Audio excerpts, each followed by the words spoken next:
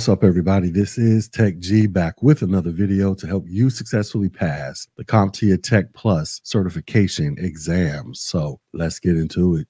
In this video, you're going to learn about the different types of programming languages and how they function, and we'll compare and contrast the three main categories. They are interpreted languages, compiled programming languages, and query languages, including assembly languages. So let's break these down into their key types and functions. Now, before we dive into these specifics, it's important to understand what programming languages are. In simple terms, programming languages are a way for humans to communicate instructions to a computer. And these languages are either high level, meaning they are easy for humans to read, or they're low level and they're closer to the computer's machine code. And the three primary categories we'll focus on are interpreted languages, including scripting languages and markup languages. We'll talk about compiled programming languages, and we'll talk about query languages, including assembly languages. And each of these categories has its own purpose, benefits, and limitations. So so let's start by discussing interpreted languages.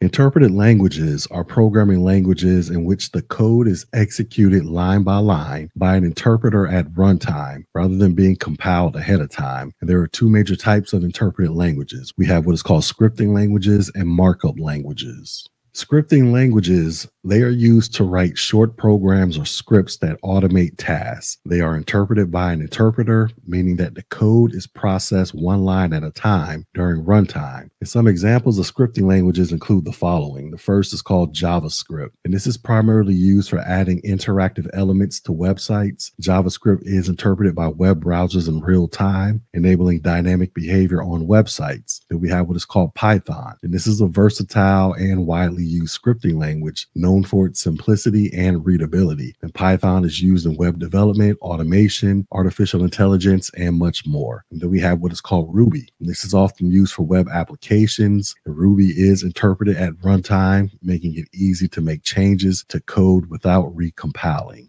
And we also have what is called PHP. And this is a server side scripting language used for web development, especially for dynamic websites and databases. And the advantages of scripting languages are as follows. First one is ease of use. So, scripting languages are typically easier to learn and use, making them great for beginners. It offers platform independence. So, since interpreted languages don't need to be compiled, they can run on any system with an appropriate interpreter and they offer flexibility. So, these languages are highly flexible and allow for rapid development. Now, some of the disadvantages are slower performance. So, because the code is interpreted line by line at runtime, time. Scripting languages are generally slower than compiled languages. And then there's limited access to system resources. Interpreted languages often don't have the same level of access to system resources as compiled languages. Next, we have what are called markup languages. In markup languages, they are used to define the structure and presentation of text, especially in web development. And examples include HTML, which stands for Hypertext Markup Language. And this is the standard language used to create and structure web pages. HTML elements define headings, paragraphs, links, and more, making it essential for web development. Then we have what is called XML, and that stands for Extensible Markup Language. And this is used to store and transport data. XML allows users to define custom tags and is commonly used in web services and configuration files. And then we have what is called CSS or cascading style sheets. Though technically not a full programming language, CSS is a style sheet language used to describe the presentation of HTML documents. It controls the layout and appearance of web pages.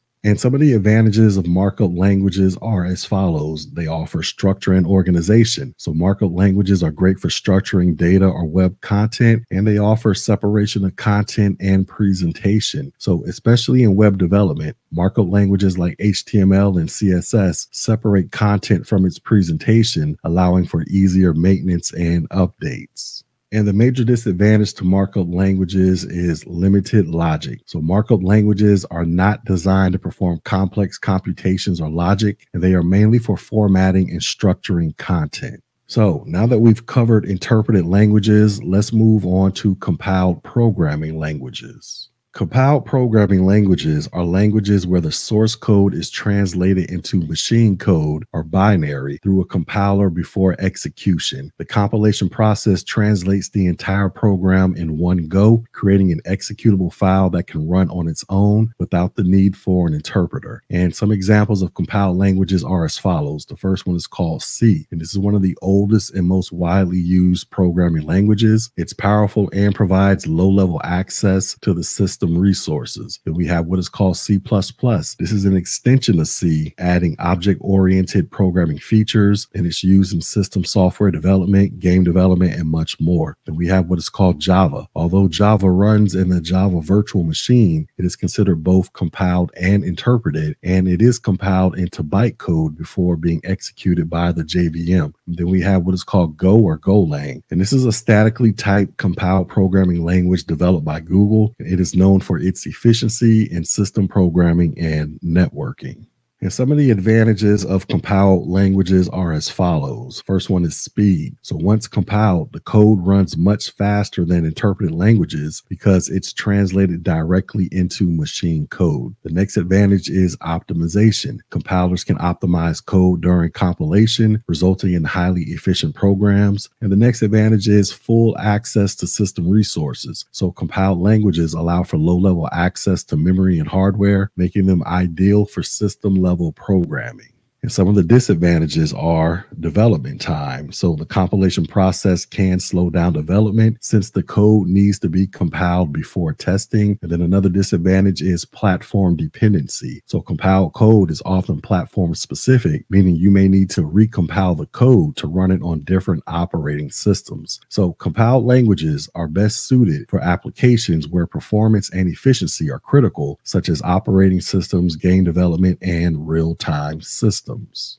All right, next let's talk about query languages. So, query languages are specialized languages designed to retrieve, manipulate, and manage data in databases. They are typically used in database management systems to interact with stored data. And some examples of query languages are as follows. The first one you have is called SQL or SQL, and that stands for Structured Query Language. And this is the most commonly used query language. SQL is used for managing and querying relational databases, and SQL commands can select, insert, insert, update, and delete data in database tables. Then we have what is called GraphQL. And this is a query language for APIs that allow clients to request specific data, unlike traditional REST APIs. GraphQL is flexible and allows for efficient data retrieval. And then we have what is called XPath or XQuery. And this is used to query XML data. In these languages, they help retrieve and manipulate XML documents. And some of the advantages of query languages are as follows. The first one is it is specialized for data manipulation. So, query languages like SQL are specifically designed to interact with large sets of data, making them extremely efficient for database management. And then they simplify complex queries. So, query languages are optimized for retrieving data with complex filters and conditions, simplifying the process for developers and database administrators. And the major disadvantage of a query language is it has limited use. So query languages are highly specialized and they are not suitable for general purpose programming.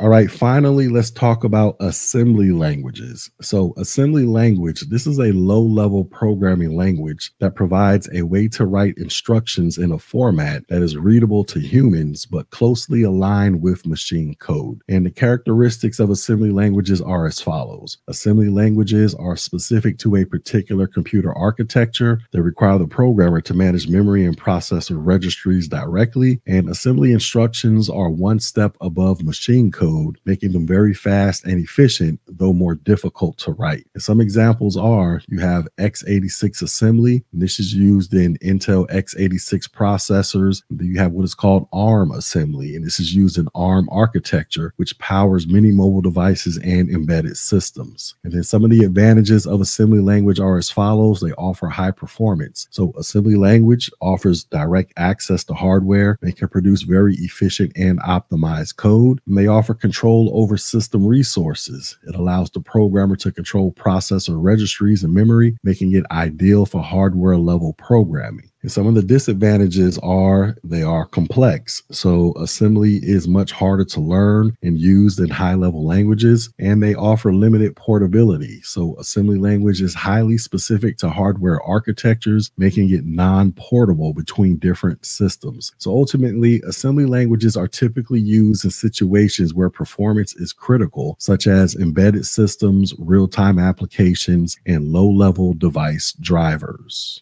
So, to wrap all this up, let's quickly summarize the key differences between these categories of programming languages. So, interpreted languages such as scripting and markup languages are executed line by line at runtime and are ideal for dynamic and flexible applications, but they tend to be slower. Compiled programming languages translate source code into machine code before execution, offering high performance but requiring a compilation step. Query languages are specialized for interacting with databases, providing efficient ways to retrieve and manipulate large data sets. And assembly languages, they offer low level control over hardware and high efficiency, but are more complex and less portable. So, understanding the strength and limitations of each language category will help you select the right tool for the task at hand. And this information is essential for the CompTIA Tech Plus certification exam. Now, with all that being said, let's do some of this check on learning. So, the first question is Which of the following is an example of an interpreted scripting language? Would it be C? Would it be Python? Would it be assembly? Or would it be SQL?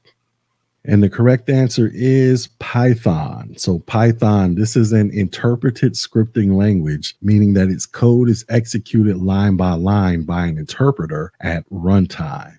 Next question what is a key characteristic of a compiled programming language? Is it the code is executed line by line during runtime? Is it the code is converted into machine code before execution? Is it it is used for querying databases or it requires an interpreter to run?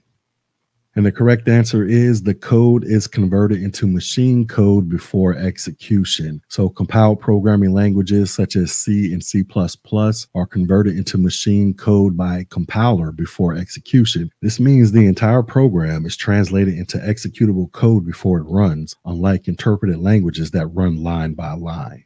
And the final question Which language category does SQL belong to? Would this be a markup language, a compiled programming language, a query language, or a scripting language? And the correct answer is it is a query language. So SQL, this is a query language primarily used to interact with databases. It allows users to retrieve and manipulate data. It is not compiled or interpreted as a general purpose programming language, nor is it used for structuring documents like markup languages.